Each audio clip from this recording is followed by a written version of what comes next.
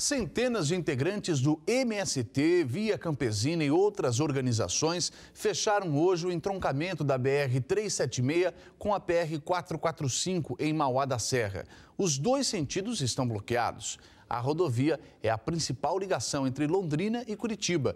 A manifestação deve acontecer o dia todo.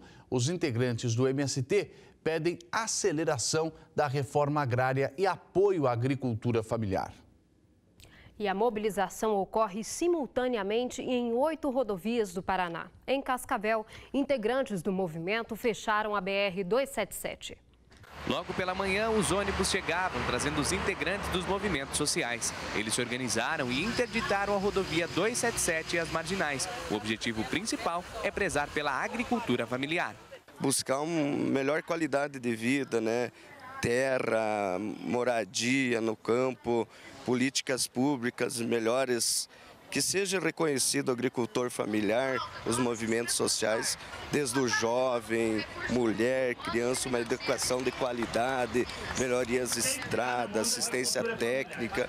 Em Brasília, lideranças políticas e dos movimentos decidem em reunião uma resposta para as mobilizações.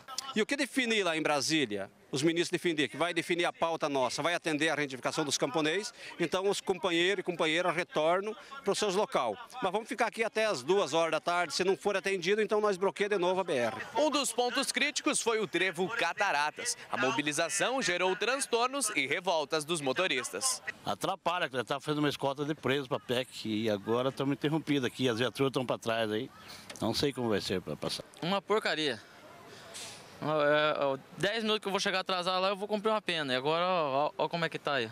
Ah, é uma complicado, né, amiga? Tem horário em cliente, tem médico, tem médico aqui, precisa bater.